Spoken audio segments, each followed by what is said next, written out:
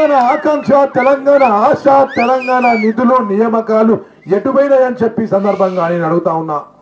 నువ్వు ఇస్తానన్నా గ్రామంలో మూడు ఎకరాల భూమి రైతులకు అర్జన్లకు గిరిజనులకు ఎటుపోయింది నువ్వు ఇస్తానన్నా డబుల్ బెడ్రూమ్ ఎటుపోయిందని చెప్పి నేను అడుగుతా ఉన్నా. ఈ రోజు దళితుడిని ముఖ్యమంత్రి చేస్తానన్నావు ఎందుకు చేయలేదో చెప్పాల్సిన అవసరం ఉన్నది. ఈ రోజు ఇంటికి ఉద్యోగం అంటే ఈపులంత బల కొట్టుకొని డాక్టర్లు పిహెచ్లు చదువుకొని నా తల్లిదండ్రులు ఎకరం పువ్వు అమ్ముకొని పొద్దు నుంచి రాత్రి వరకు చెమటొచ్చి నన్ను పిహెచ్లు చదివిపిస్తే నాకు ఉద్యోగం ఇస్తామంటే మేము అర్జున వాడలకు వెళ్ళి అర్జున లంబాడి తండలకు వెళ్ళి ప్రతి ఒక్కొక్క తల్లిని తండ్రిని కాళ్ళు మొక్కి నీకు ఓట్లేపిస్తే ఓట్లేసినాక ఓడమల్లి అయిపోయింది తర్వాత బోడమల్లి అయిపోయిందని చెప్పి సందర్భంగా నీకు మనవి చేస్తున్నాను. ఈ కేసీఆర్ ప్రభుత్వము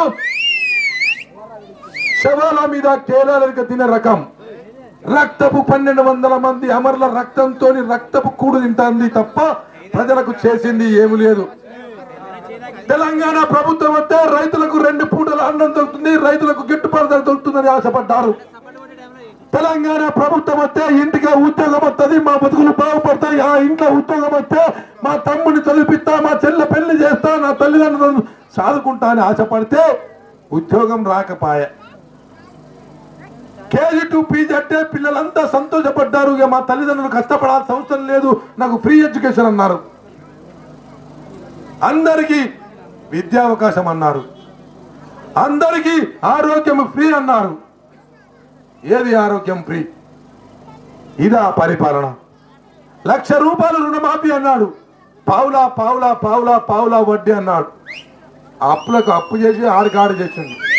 కానీ కాంగ్రెస్ పార్టీ అధికారంలో ఉన్నప్పుడు అలా రాజశేఖర రెడ్డి గారు పది సంవత్సరాల పరిపాలన పచ్చని సంవత్సరం పాడి పంటలతో రైతులకు పండించిన పంటకు గిట్టుబాటు ధర ఇచ్చి రైతులు బాగుండాలి రైతు రెండు పూటలు అన్నం తినాలి. ఈ దేశానికి వెన్నెముక రైతు మన భారతదేశం వ్యవసాయక దేశం. రైతులు సుసమస్యంగా ఉండాలని కోరుకున్నాడు రాజశేఖర రెడ్డి. అందుకోసమే రైతులకు ఏకకాలంలో ముఖ్యమంత్రి ఎక్కిన తర్వాత ఒకటే రోజు అదే రోజు మొట్టమొదటి ఉచిత విద్యుత్ మీద సంతకం పెట్టిన ఘనత కాంగ్రెస్ పార్టీదని చెప్పి సందర్భంగా రైతులు అప్పుల పాలైండు ఈ అప్పులన్నీ మాఫీ చేయాలని చెప్పి ఏకకాలంలో లక్ష రూపాయలు రుణమాఫీ చేసి లక్ష రూపాయలు ఇచ్చింది కాంగ్రెస్ పార్టీ కాదా అని చెప్పి సందర్భంగా నేను అడుగుతా ఉన్నా. రోగం వస్తే నొప్పి వస్తే సాదే శరణమైతుందని చెప్పి లేకపోతే ఎకరం భూమి అమ్ముకోవాల్సిందని చెప్పి ఆరోగ్యశ్రీ పథకం ద్వారా ప్రతి ఒక్కరికి రోగం నయం చేసింది. కాంగ్రెస్ పార్టీ కాదా అని చెప్పి సందర్భంగా నేను అడుగుతా కాంగ్రెస్ పార్టీ అధికారంలో ఉన్నప్పుడు మిర్చి ధర పన్నెండు వేల రూపాయలు. మన తెలంగాణ బంగారు తెలంగాణ ప్రజల తెలంగాణ పన్నెండు వందల మంది అమరుల త్యాగంతో వచ్చిన తెలంగాణ. మిర్చి ధర పన్నెండు వేల రూపాయల నుంచి నాలుగు వేల రూపాయలు. కనీసం ఏరుకోవడానికి డబ్బులు లేక కూలీలు లెక్క చేన్ల మీద తగలబెట్టుకున్న సంఘటనలు ఉన్నాయి. కాంగ్రెస్ పార్టీ అధికారంలో ఉన్నప్పుడు మిర్చి ధర పత్తి ధర ఐదు వేల ఆరు వందల ముప్పై మూడు రూపాయలు ఉన్నది. టిఆర్ఎస్ పార్టీ అధికారంలోకి వచ్చిన తర్వాత మూడు వేల ఐదు వందలు. నువ్వు సప్లై చేసిన నకిలీ విత్తనాల వల్ల పత్తి ఆరు ఫీట్ల మూడు ఇంచులు పెరిగింది కానీ పత్తి నలభై కాయలే కాసింది. ఎనభై కాయాల్సిన పత్తి నలభై కాద కాసింది. పన్నెండు క్వింటాల నుంచి పదిహేను క్వింటాలు పండాల్సిన పత్తి ఈ రోజు ఏడు క్వింటాలకే పరిమితం అయిపోయింది నీ నకిలీ విత్తనాల సప్లై వల్ల కాదా నీ ప్రభుత్వ వైఫల్యం కాదా అని చెప్పి ఈ సందర్భంగా నేను అడుగుతా ఉన్నా. కందుల ధర పెసర్ల ధర కాంగ్రెస్ పార్టీ అధికారంలో ఉన్నప్పుడు ఏడు వేల రూపాయలు ఉన్నాయి. టీఆర్ఎస్ పార్టీ అధికారంలోకి వచ్చిన తర్వాత నాలుగు వేల ఉన్నాయి ఇదా ప్రభుత్వ పరిపాలన. ఇదా ప్రజాస్వామ్యం. ఇదా రైతులకు గిట్టుబాటు ఇదే ఆ రైతు రాజ్యం. ఇదా తెలంగాణ. అమరవీరుల రక్తంతో వచ్చిన తెలంగాణ ఇదేనా అని చెప్పి సందర్భంగా నేను అడుగుతా ఉంటాను ఈరోజు రైతులు యూనివర్సిటీలో విద్యార్థులు మాకు ముప్పై ఐదేళ్ళు జరిగిపోతా ఉన్నాయి. నా తల్లిదండ్రులు చెమట వచ్చి ఆరు గంటల నుంచి ఆరు గంటలకు పనిచేసి నన్ను డాక్టర్లు పిహెచ్లు చదివించుకున్నారు. నన్ను పట్నం పంపించిన నా కొడుకు బాగా సంపాదిస్తానని ఊళ్ళల్లో స- పక్కింటోడికి ఈ ఆ పక్కింటోడికి ఈ మరదలకు ఆ మరదలకు చెప్పుకుంటా ఉన్నారు. నా కొడుకు పట్నంలో చదువుకుంటున్నాడు డాక్టర్ చదివిన గొప్పలు చెప్పుకుంటా ఉన్నాడు. కానీ అక్కడ కొడుకు చేసే పని ఏందో తెలుసా? పెట్రోల్ పంపులలో పనిచేస్తూ ఉన్నాడు డీజిల్ పంపులలో పనిచేస్తూ ఉన్నాడు బట్టల షాపులలో పనిచేస్తూ ఉన్నాడు కిరాణా షాపులలో పనిచేస్తూ ఉన్నాడు. రారా కొడుకు ఆ పండగ రారా అని అడిగితే నా తల్లికి సమాధానం చెప్పలేక అమ్మాయి బిజీగా ఉన్నా అని చెప్తా ఉన్నాడు. బిజీలు ఏం లేదు. చెల్లె వాచ్ అడుగుతుందేమో తమ్ముడు పుస్తకాలకు పైసలు అడుగుతామో తల్లిదండ్రులకు మందులకు పైసలు అడుగుతానేమో నాకు సంబంధం చూస్తాను కనీసం సంబంధం నువ్వు ఏం నౌకరీ చేసినావు అడుగుతారేమో అని భయంతో ఇంటికి రాలేదు తప్ప వేరే కారణాలు లేవు లేవని చెప్పి సందర్భంగా మీకు మనం చెప్తున్నా. సంవత్సరాలు ఇక్కడ పరిపాలన చేసినావు. మళ్ళీ నువ్వే చెప్తాను నేనేం అభివృద్ధి చేయలేదని చెప్తా ఉన్నావు. చిగ్గు లేదా అని చెప్పి సందర్భంగా నేను అడుగుతా ఉన్నా. అందుకోసమే కాంగ్రెస్ పార్టీ రావాలి. బడుగు బలహీన వర్గాల పార్టీ ప్రజలను క్షేమంగా సస్యశ్యామలంగా ప్రజలను పరిపాలించే పార్టీ ప్రజాస్వామ్యాన్ని పార్టీ కాపాడే పార్టీ ప్రజా హక్కులను కాపాడే పార్టీ ఒక కాంగ్రెస్ పార్టీ తప్ప ఈ రాష్ట్రంలో ఎలాంటి పార్టీ లేదని చెప్పి సందర్భంగా మీకు మనం చేస్తా ఉన్నా. టీఆర్ఎస్ పార్టీ ఒక చెప్పు మీద కూర్చు లాంటి పార్టీ తప్ప అది ప్రజలను పరిపాలించే మంచి మంచి పార్టీలే పోయినాయి. నీ సెంటిమెంట్ మీద వచ్చిన పార్టీ ఇట్లా ఊసుకోపోతుందని చెప్పి సందర్భంగా మీకు మనం చేస్తా ఉన్నా. తెలంగాణ ఇచ్చిన తల్లిని నువ్వు కాళ్ళు మొక్కి నువ్వు కుర్ర కుంకవు నువ్వు అమెరికాలో బాత్రూమ్లు లాట్రిన్లు కడిగచ్చినోడివి నువ్వు. సోనియమ్మను అమ్మ బొమ్మ అనే ఒక తల్లిని వాయు వరుస లేకుండా మాట్లాడిన నీచపు పురుగు నువ్వు ఇందిరమ్మ గురించి నీకు తెలియదా? సోనియమ్మ గురించి తెలియదా? వాళ్ళ కుటుంబం గురించి తెలియదా? ఈ దేశం కోసం ప్రాణం త్యాగం చేసిండు. పదవులు కావాలంటే సోనియా గాంధీ ప్రధాని మంత్రి కాకపోయిందా? ప్రధానమంత్రి కావాలంటే రాహుల్ గాంధీ ప్రధానమంత్రి కాకపోయిందా?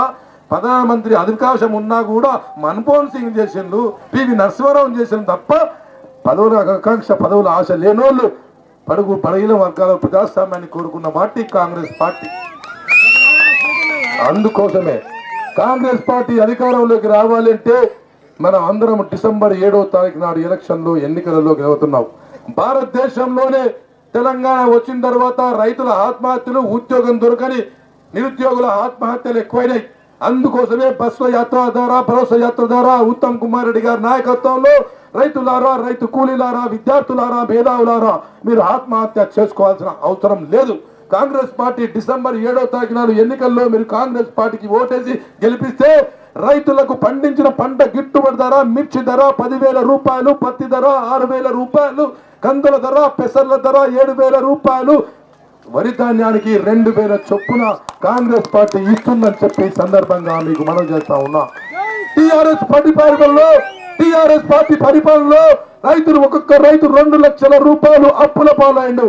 ఏక కాలంలో రైతులకు రెండు లక్షల రూపాయలు మాఫీ చేసి రెండు లక్షలు ఇస్తామని చెప్పి సందర్భంగా మీకు మనం చేస్తా ఉన్నాం.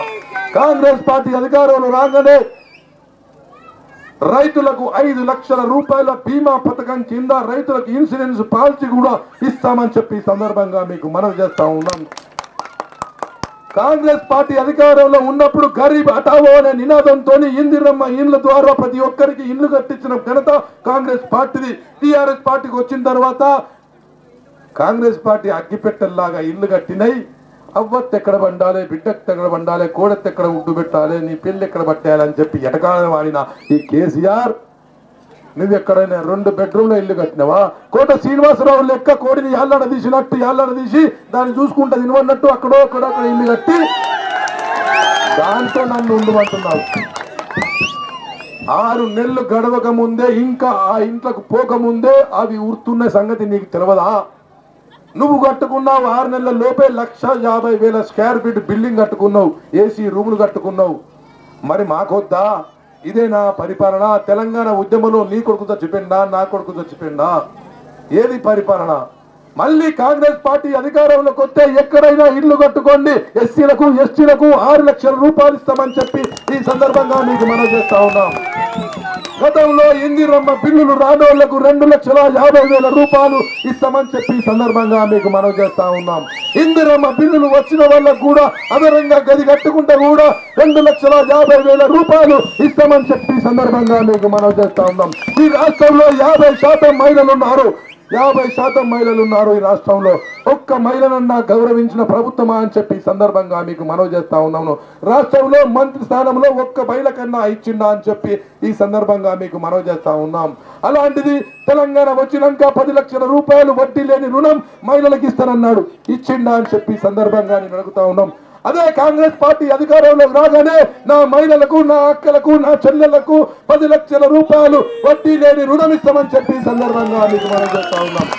లక్ష రూపాయలు గ్రాంట్ కింద ఒక్కొక్క తల్లికి ఒక్కొక్క చెల్లెకు ఏడు వేల చొప్పున మహిళా గ్రూపుకు లక్ష రూపాయలు ఫ్రీగా ఇస్తామని చెప్పి సందర్భంగా మీకు మనం చేస్తా ఉన్నాం.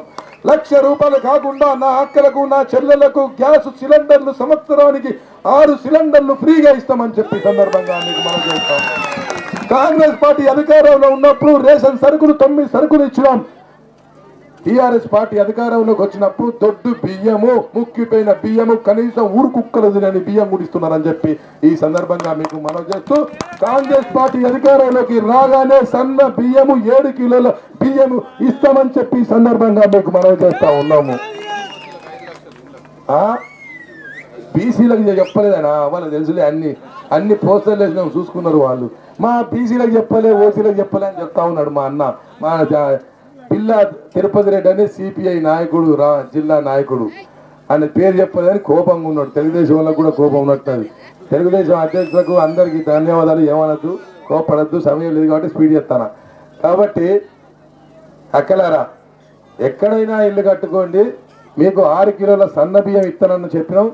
హండ్రెడ్ పర్సెంట్ ఇస్తామని చెప్పి చెప్తా ఉన్నాం. ఇది నిజం. అంతేనా కాదా? ఇంకేమైనా ఇయ్యాలా తల్లి? ఏడో తరగతి నుంచి వెళ్ళి పన్నెండో తరగతి చదువుకున్న పిల్లలకు కూడా సైకిల్ ఫ్రీ ఇస్తామని చెప్పి ఈ సందర్భంగా మీకు మనం చేస్తాం కాంగ్రెస్ పార్టీ అధికారంలో ఉన్నప్పుడు అందరికీ ఫీజు రీఎంబర్స్మెంట్ ఇచ్చినాం. మళ్ళీ కాంగ్రెస్ పార్టీ అధికారంలోకి రాగానే ప్రతి ఒక్కరూ డాక్టర్లు ఇంజనీర్లు చదువుకునే విధంగా ఫీజు రియంబర్స్మెంట్ ప్రతి కులానికి ఇస్తామని చెప్పి ఈ సందర్భంగా మీకు మనం చేస్తా ఉన్నాం. కాంగ్రెస్ పార్టీ అధికారంలో రాగానే ఆరోగ్యశ్రీ పథకం ద్వారా ఇప్పుడు కేసీఆర్ వచ్చినాక రోగాలన్నీ తీసేసిండు ఐదు రోగాలు చేసిండు. కాంగ్రెస్ పార్టీ అధికారం రాగానే ఎవరో రోగమన్న రాని ఐదు లక్షల రూపాయలు మాఫీ అని చెప్పి ఈ సందర్భంగా మీకు మనవి చేస్తూ ఒక్కసారి నాకు ఓటేసే అవకాశం నన్ను గెలిపియమని చెప్పి సందర్భంగా నేను అడుగుతా ఉన్నా. ఒక్కసారి మీకు ఓటేసి గెలిపిస్తే ఎర్రబెల్లి ఊసరబెల్లి దయాకర్రావు లెక్క కాదు. ఎమ్మెల్యే పదవి అయిన తర్వాత ఎమ్మెల్యే పదవి అయిపోయిన తర్వాత రా గొల్లలు మీకు ఏంటిది? కమిటీలు కట్టిస్తా. సాగలలు రండి మీకు కమిటీలు కట్టి. ఎమ్మెల్యే పదవి అయిపోయినాక. పదవి ఉన్నప్పుడు కట్టియలే తర్వాత ముత్రాశలకు రండి చేతి గుర్తుకు ఓటు వేద్దాం జంగ రాఘవన్న గారిని గెలిపించుకుందాం. జంగ రాఘవన్నకే మీ ఓటు చేయి గుర్తుకే మీ ఓటు.